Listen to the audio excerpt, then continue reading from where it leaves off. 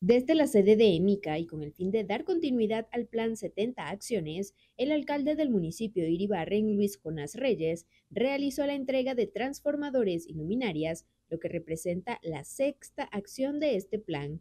La entrega está orientada a garantizar al 100% la iluminación a las parroquias del municipio.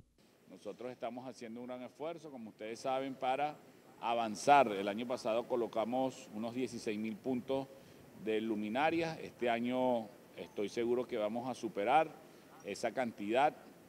Vamos a estar decretando próximamente con la colocación de estas luminarias por lo menos 20 comunidades de distintos sectores de la parroquia Soto, igualmente de la parroquia El Cují.